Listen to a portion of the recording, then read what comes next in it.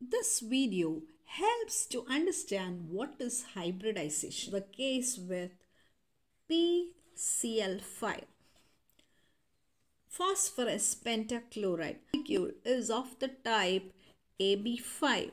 So according to VSEPR theory, you find that where you have A placed at the center and three bonds are placed at the corners of a triangle and one above and one below. So here you have two bond angles. It is 120 degree and you have one above, one below which is right angle and here you find that the shape predicted is known as trigonal bipyramidal. Now we shall check what is the hybridization. In the molecule PCl5, phosphorus forms the central atom. Phosphorus has the atomic number 15. So the ground state configuration would look like neon. Then we have 3s2 and 3p3. So according to this configuration, we find that only three unpaired electrons are there. So only three covalent bonds can be formed. But we want the formation PCl5 which requires five covalent bonds. So for that, we have to promote the electron from the 3s which is in the paired condition to the next higher orbital. Remember, Aufbau rule is used only for the filling up of the different orbitals. And here the next higher orbital taken will be again 3d not 4s so you have 3d 1 2 3 4 5 so this is the next higher vacant orbital that is 3d orbitals. And so we have to promote the electron from 3s to the next higher orbital which is vacant that is 3d so then the excited state electronic configuration would be neon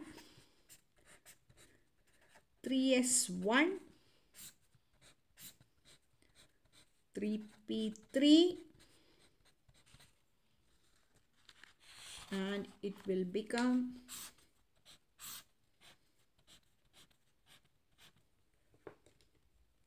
Three D one. So on mixing, you find that one s orbital is mixed with three p orbitals and one d orbital, leading to the hybridization, which is named as S P3D hybridization.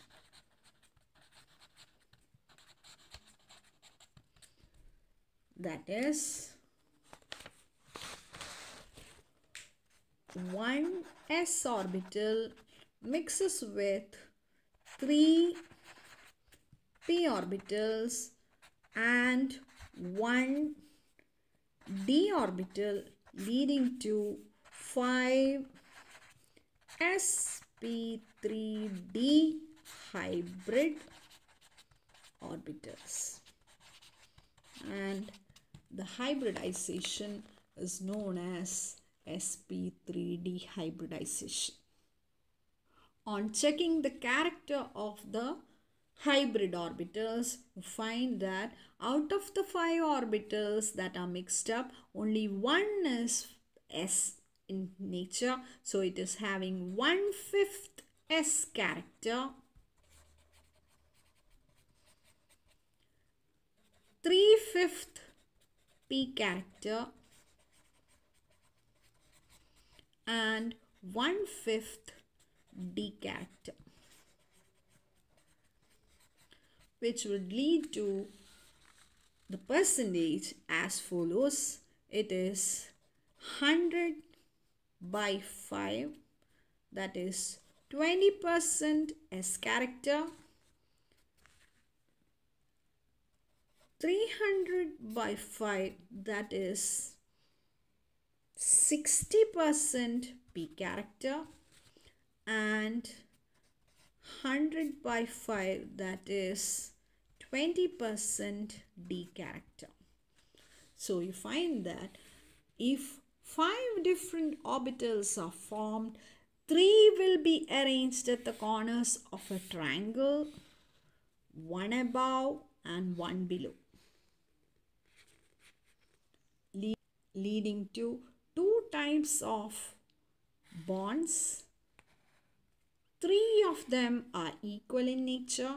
So you find that if it is PCl5, phosphorus will be forming the central atom and chlorine will be arranged at an angle of 120 degree each and one chlorine and the fifth chlorine will be arranged above and below at an angle which is perpendicular to the plane of the triangle. And this leads to the structure which is known as trigonal bipyramidal. It would look like a structure like this. It is three chlorine atoms at the corners of a triangle, one above and one below. We shall now discuss the case with sulfur tetrafluoride. What is the formula for sulfur tetrafluoride? It is SF6. How many bonds are formed? Six bonds are formed. Which is the central atom here? It is sulfur. Now before predicting what will be the hybridization, before doing the hybridization, we shall check what will be the prediction according to VSEPR theory. This is of the type AB6. So six bonds are required. So these six bonds are arranged at equal distances in space according to VSEPR theory in order to reduce bond pair bond pair repulsions and here you find that there are four bonds which are arranged at the corners of a square and one above and one below. So that will be the structure and this structure we call it as octahedral structure.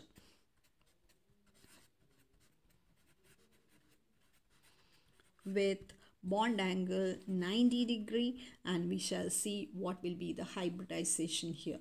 So Coming to the central atom, we have sulfur as the central atom with atomic number 16. The configuration in the ground state would be neon. Then we have 3s2 and 3p4 because it belongs to group 16. So now According to the ground state, we have only two unpaired electrons. Two unpaired electrons means only two bonds can be formed. But here, the molecule is of the type AB6 that means 6 covalent bonds are required. So 6 covalent bonds are required means 6 unpaired electrons are to be maintained. So for which we have to create 6 unpaired electrons by promoting the paired electrons from the 3s orbitals and the 3p orbitals to the next higher orbital. Now the question is which is the next higher orbital? It would be 3p and not 4s as predicted by the Aufbau principle. Remember that Aufbau principle is used only for filling up of the orbitals in order to check what is the configuration. But the higher orbital which is vacant will will be only 3D. So the electron from 3p which is in the paired condition is going to the next higher orbital that is 3d when we have the s electrons promoted to 3d again so the, the excited state becomes neon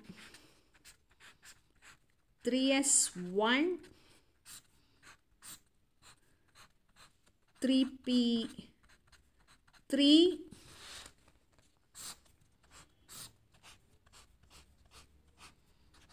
3d two electrons are present and it undergoes mixing or hybridization.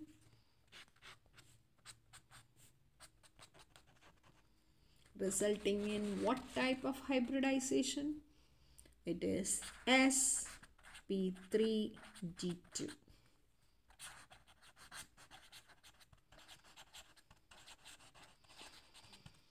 sp3d2 hybridization. Total of six different hybrid orbitals are produced. And it is got by mixing one s orbital three p orbitals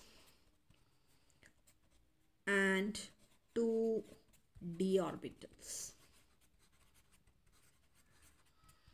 so that results in six sp3d2 hybrid orbitals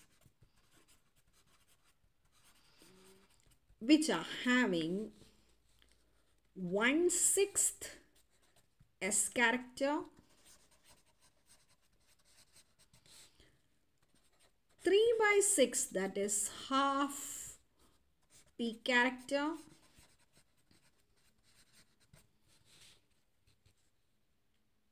and 2 by 6 that is one third D character. So what is one sixth of P character? It is 16.6 percentage S character, 50 percent P character and 33.3% D character and it would occupy the corners of a regular octahedral structure. So here we have sulfur at the center and four different fluorine atoms arranged at the corners of a square, one above and one below. So that leads to what is called the octahedral structure with bond angle 90 degree 90 degree 90 for the equatorial bonds and 90 for the axial bonds hope this video is helpful in understanding what is hybridization. So what is meant by hybridization? It is the intermixing of orbitals of almost equal energy to get a new set of equivalent orbitals which are having similar size similar shape and energy. And these hybrid orbitals are equivalent in every respect and the process of intermixing of orbitals to get orbitals which are equivalent in energy and shape that, that is known as hybridization. Thank you.